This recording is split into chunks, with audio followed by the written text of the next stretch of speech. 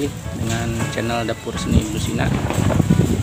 Teman-teman, beberapa waktu lalu saya pernah videokan inkubator Minion. Dan ini rilis hasilnya. Inkubator sederhana terbuat dari cat bekas cat. Ini proses persemaiannya di dalam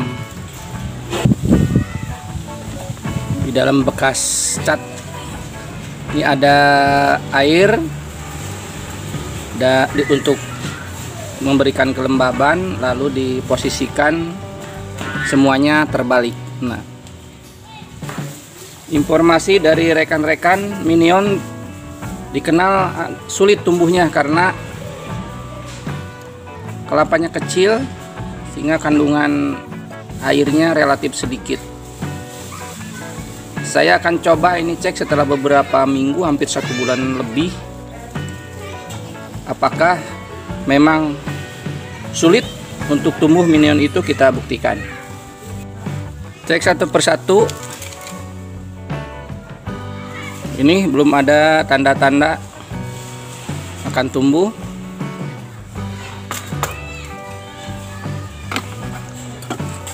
Kemudian ini yang agak besar belum juga tumbuh.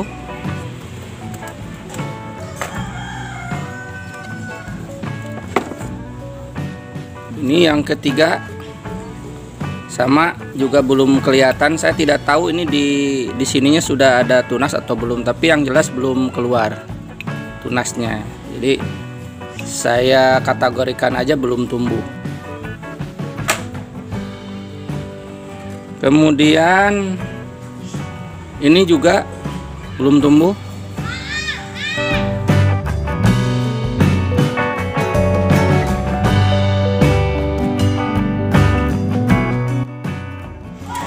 Nah ternyata dari 1 2 3 4 5 6 7 8 9 10 11 minion yang tumbuh hanya dua ini.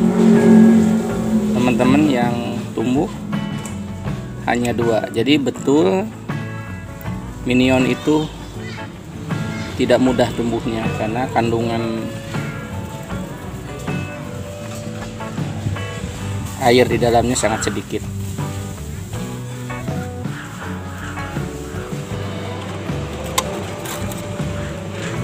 Nah ini yang sangat kecil sekali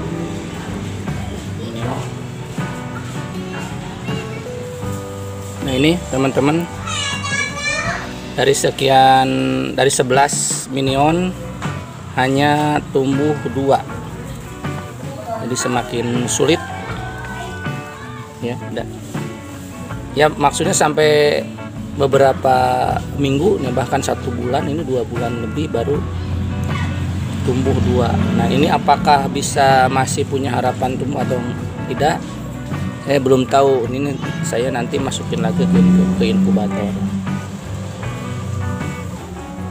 Nah itulah hasil rilis pembuktian bahwa minion itu tidaklah mudah menyemainya terbukti seperti ini. Kita ukur ini lebar apa panjangnya. Nah ini yang tumbuh panjangnya ini karena tidak dikupas habis dan memang harusnya seperti ini.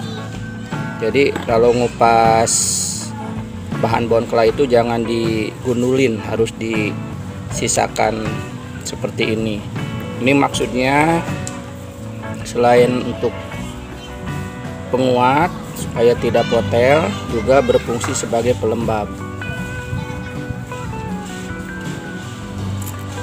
10 cm kurang lebih 9 9 cm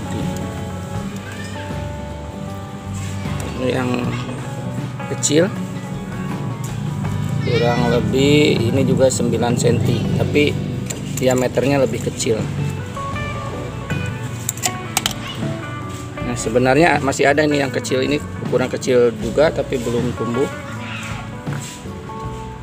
Nah nah sebagai pembanding ini yang ukuran middle. Ini panjangnya mungkin nggak jauh beda cuman diameternya. Nah ini 12 cm dibandingkan. Seperti ini lebih kecil lagi.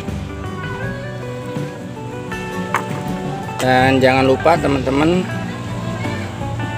hasil gerinda ini pakai gerinda nah, di amplasnya biar cepat jadi harus segera di vernis ya supaya tidak pecah.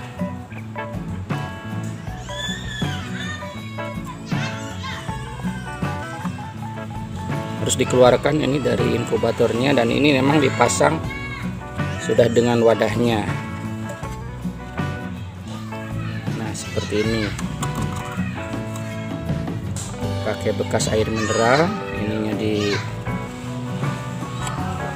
bolong kasih bolong untuk memberikan ruang bagi lunas. Nah kira-kira pakai seperti ini.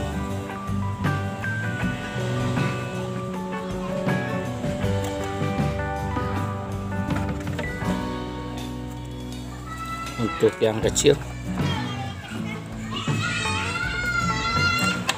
wadahnya lebih kecil lagi. Kasih bolong.